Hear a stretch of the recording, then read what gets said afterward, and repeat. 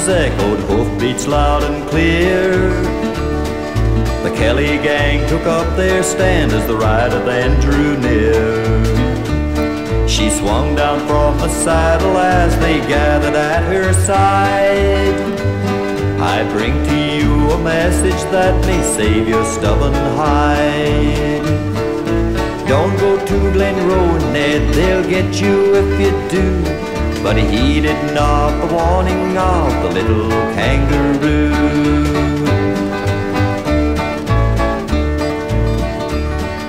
Ned just smiled and shook his head. He said, I'm not done yet.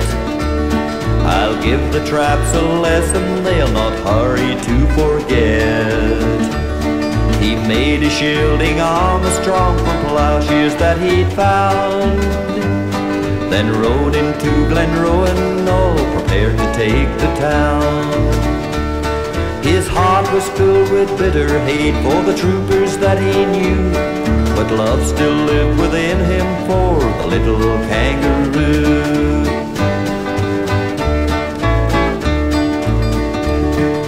Crouched beside a barroom wall, a gun held in each hand. The silence of the darkened room was more than he could stand. He buckled on his armor, through the door open wide, then turned to face the danger that awaited him outside. The flash of shining armor with bullets flying round, the charge of tearing buckshot was the one that brought him down.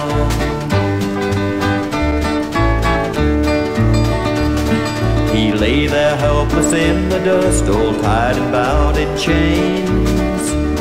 He knew he never would escape the hangman's noose again. And as they carried him away, he fancied he could hear that final warning message whispered softly in his ear. Don't go to Glenrowan, Ned, they'll get you if you do. Heeded not the warning of the little kangaroo.